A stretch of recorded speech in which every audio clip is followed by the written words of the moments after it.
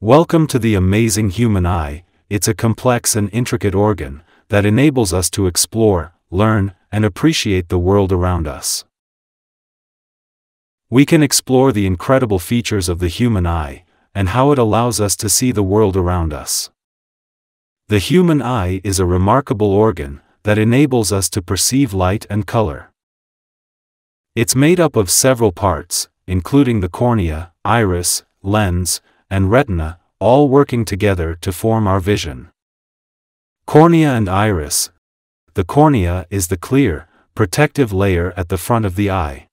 It helps focus light onto the lens. The colorful part of the eye, known as the iris, controls the size of the pupil, regulating the amount of light entering the eye.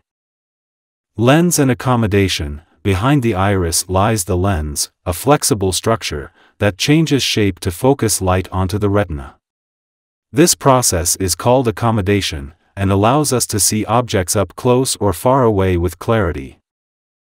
Retina and photoreceptor cells, at the back of the eye, we have the retina, a thin layer of tissue containing millions of specialized cells called photoreceptors.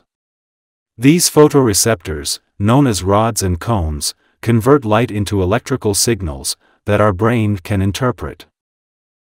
Rods and low-light vision, the rod cells in the retina are responsible for our vision in low-light conditions. They detect motion and help us navigate in dimly lit environments, like when stargazing or walking at night. Cones and color vision, cones on the other hand, are responsible for our color vision. We have three types of cones, each sensitive to different wavelengths of light. They work together to allow us to see a wide spectrum of colors.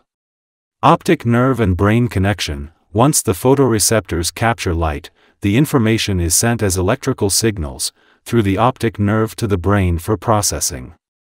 It's here that the images we see are interpreted, allowing us to perceive the beauty of the world.